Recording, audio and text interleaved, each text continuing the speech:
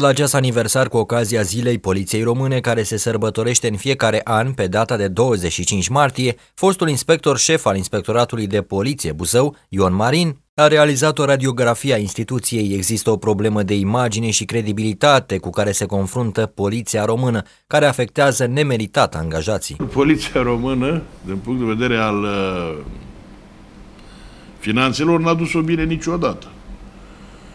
Întotdeauna s-a invocat că sunt prea mari cheltuielile pe care polițiștii le doresc, că doresc salarii foarte mari pe care uh, nu și le justifică, lăsând la o parte acțiunea concertată a guvernelor care s-au perindat la putere din 90 până în prezent, guverne care au denigrat această instituție vitală pentru orice stat, nu numai pentru România, uh, asociind toți polițiștii celor care, trădându-și menirea de polițist, au, uh, s-au lipit de structurile politice și beneficiază într-adevăr de pensii speciale, de tot felul de avantaje materiale, uh, care pentru un uh, polițist de rând sunt intangibile. Fostul șef al poliției buzoiene a transmis și un mesaj tinerei generații de polițiști. Prin Îmi place ce am văzut, de exemplu, cu acei polițiști care au uh, dat curs rugăminții unui cetățean a cărui soție urma să nască și nu mai avea omul garanție că ajunge în timp util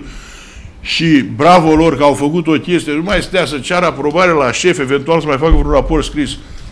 Vino cu mașina după noi, i-au deschis calea și s-a dus femeia și a născut în bună regulă. Ăia sunt polițiști. Așa trebuie să fie polițistul. Și polițist bun este și ăla care a fost un bătrân. Pentru că experiența de, de viață ne dă fiecăruia niște repere care să ne permită să ne dăm seama unde este uh, realitate și unde este ficțiune. Când îl vezi că a trecut pe loc, pe loc neregulamentar, tu să ții la el.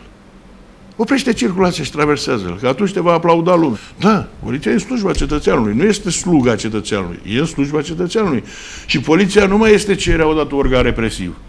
Inspectoratul Județean de Poliție Buzău s-a aflat în centrul mai multor scandaluri în ultima perioadă. Un agent de poliție a mers la prostituate îmbrăcată în uniforma de serviciu, după care a provocat și un accident de circulație, refuzând să-i se preleveze probe pentru stabilirea alcoolemiei. Un alt moment care a pus poliția într-o lumină nefavorabilă a fost cel în care un buzoian a fost agresat de către un grup de indivizi, de față cu agenții trimiși la fața locului să aplaneze conflictul.